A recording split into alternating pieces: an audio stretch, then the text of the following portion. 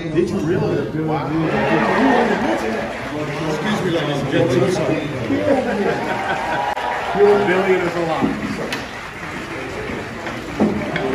Is that right? That's great. Jay, have everybody come How on. many people with a billion? Nah, nah, nah. I'm, I'm, I'm actually, I'm actually, I have somebody counting to see how many, how many people with a billion streams so far.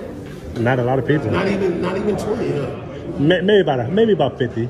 Yeah, I think 50. That's exactly what I would have said. 50. 50. Because you got to figure Madonna, Britney Spears, Yeah, you know, Justin else. Bieber. Can I get another photo of you just between these doors? A photo, of course. Thank you very much.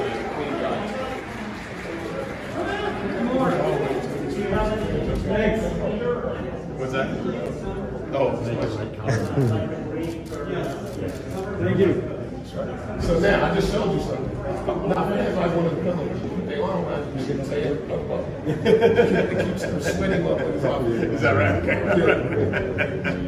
Coolio, Thank you, thank you, appreciate it. Thank you. Hello and welcome back to my channel. Just days before Coolio's untimely death on Wednesday, the rapper gave what would be the last performance of his biggest hit, Gangsta's Paradise. The 59 year old performed at the Roundup Music venue in Texas, where thousands of music fans joined him in belting out the lyrics to the much loved song for the final time. The outpouring of love came as the rapper had also been working on new music before he passed away at the age of 59.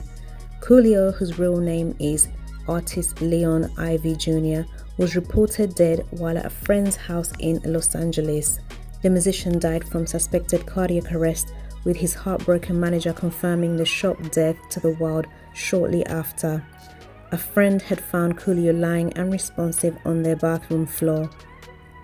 May his soul rest in peace.